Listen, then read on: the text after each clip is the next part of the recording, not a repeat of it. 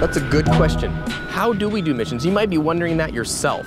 Well, first off, the church and individual believers sends missionaries out. So you guys, when you give your money and you pray, you're sending us or other missionaries out. And we go through uh, uh, the assemblies of God and we go to another country.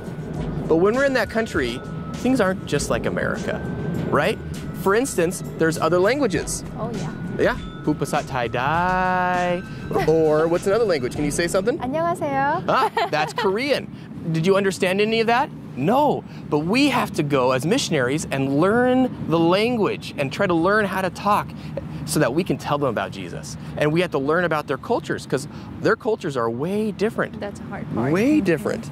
And so that is part of our job of how we do missions. And once we learn about the culture and learn about the language, then we go and start telling people about Jesus. We start going and planting churches.